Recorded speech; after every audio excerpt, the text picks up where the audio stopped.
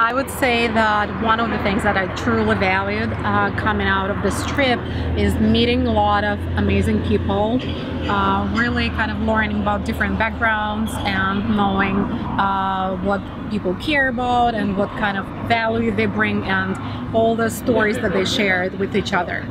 Yeah, we got a lot of uh, helpful information from the experts and they gave uh, a lot of uh, very valuable uh, suggestions how to change and uh, change our business and hopefully it will bring like big change in the future.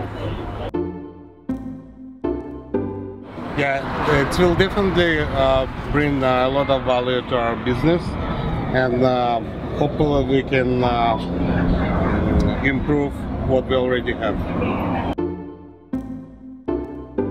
On the personal level, uh, I can say that um, just seeing Mary and Dave uh, and Norm uh, throwing their hearts into this event and how much they care about uh, all guests uh, and their businesses and how much they give them uh, is really uh, awesome and very helpful and we truly appreciate it.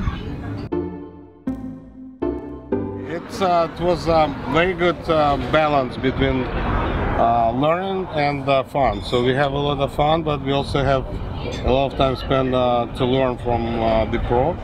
So I think uh, it's a very good balance. There's obviously never enough time. So I felt like uh, it's, it's, still very good experience and it's very good learning experience. I agree with the boss. Perfect. actually can talk about their human qualities uh, and we fell in love with them. Uh, didn't expect that, wasn't really looking for that. And I guess it happened um, and it, you know and it really uh, was something special. So as human beings we really appreciated them.